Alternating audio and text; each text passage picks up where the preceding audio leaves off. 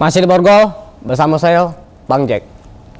Informasi ketiga nih, ini pantauan tentang peti nih. Yang berhasil sam dihimpun sama Intel Bang Jack ini ada uh, Direktorat Reserse Kriminal khusus Polda Jambi menelusuri pemilik lahan yang menjadi tempat pertambangan emas tanpa izin atau peti di tiga desa kecamatan Batangasai Kabupaten Sarolangun nih lur. Setelah sebelumnya polisi menutup enam lokasi peti di kawasan tersebut.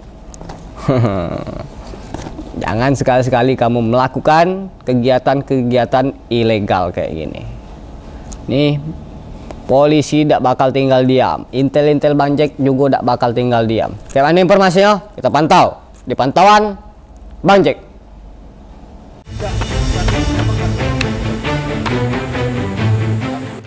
Setelah melakukan penertiban pertambangan emas tanpa izin di tiga desa kecamatan Batang Asai, Kabupaten Sarolangun pada Jumat 8 Juli 2022 lalu, pihak Direktorat Reserse Kriminal Khusus Polda Jambi melakukan penelusuran terkait pemilik lahan yang melakukan aktivitas ilegal tersebut. Hal ini dikatakan Direktur Reserse Kriminal Khusus Polda Jambi, Kombes Pol Kristiantori, yang mengatakan penelusuran kepemilikan lahan saat ini sedang dilakukan dan dalam waktu dekat pasti akan diketahui. Christian menegaskan bahwa pihaknya tidak segan-segan dalam memberantas aktivitas peti yang telah merusak ekosistem lingkungan. Sebelumnya, tim Direktorat Reserse Kriminal Khusus Polda Jambi melakukan penertiban pertambangan emas tanpa izin yang beroperasi di tiga desa di Kecamatan Batang Asai, Kabupaten Sarolangun.